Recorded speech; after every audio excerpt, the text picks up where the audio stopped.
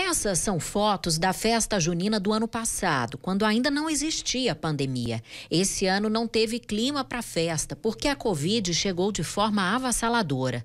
O Centro de Apoio a Carentes, Silvestre Linares, fica no Jardim Buriti Sereno, em Aparecida, e atende principalmente idosos com transtornos mentais abandonados pelas famílias. As visitas são escassas. A diretora diz que não sabe ao certo como teve início a contaminação. Seis já morreram. Outros 22 idosos testaram positivo. Nove estão internados e 13 isolados na própria unidade. Oito servidores tiveram que ser afastados. Uma situação caótica. Nosso número de funcionários diminuiu muito e aí as dificuldades são imensas para a gente conseguir exatamente. manter tudo no lugar, né? Então separar os contaminados, né?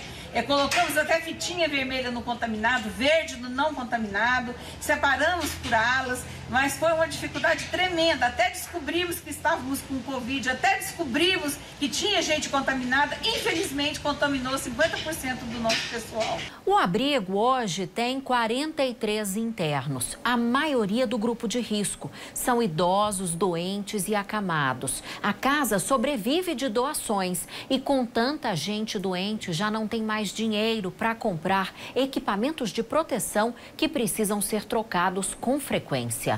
Todos os internos estão usando máscaras e os funcionários também, além de capotes, toucas e luvas.